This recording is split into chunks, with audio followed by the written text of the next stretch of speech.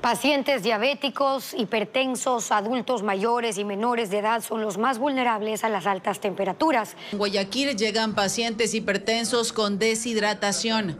Este es uno de los síntomas provocados por las altas temperaturas que se registran durante los últimos días y que ponen en riesgo a estos pacientes, pero también a quienes han sido diagnosticados con diabetes e insuficiencia cardíaca. Las altas temperaturas pueden producir golpes de calor el golpe de calor se da cuando la temperatura corporal aumenta por arriba de los 40 grados y por lo tanto las complicaciones pueden venir específicamente para el cerebro, el riñón y el corazón. Los síntomas van a variar y pueden ser desde dolor de cabeza, mareo, náuseas, vómitos, hasta agitación, confusión, pérdida de la conciencia y convulsiones y finalmente la muerte. Los pacientes con diabetes tienen más riesgo de sufrir golpe de calor, específicamente por dos situaciones.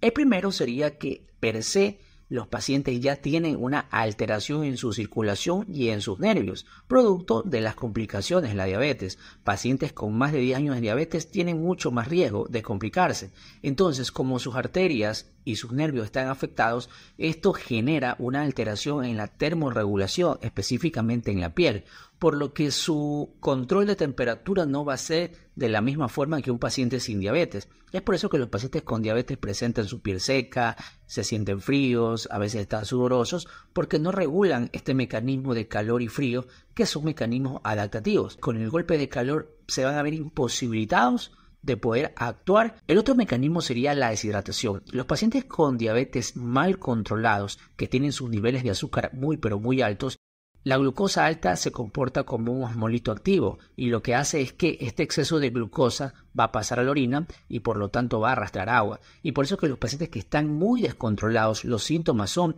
muchas ganas de tomar agua, mucha sed, muchas ganas de ir al baño, poliuria y también pacientes que pierden peso.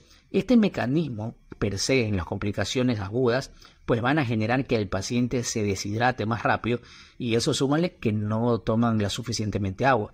Entonces por eso un paciente con diabetes tiene mucho mayor riesgo.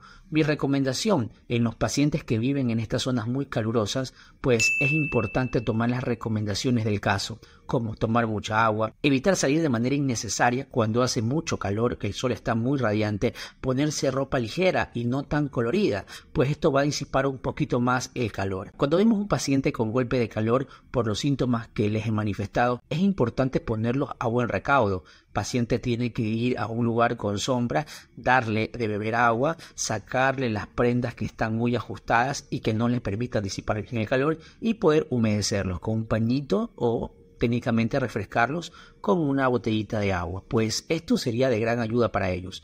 Estas han sido las recomendaciones que quisiera que te queden claro y si tienes diabetes, no esperes que te pasen las cosas o complicarte para pedir ayuda. Muchas gracias por ver mis videos, nos vemos hasta en una próxima ocasión.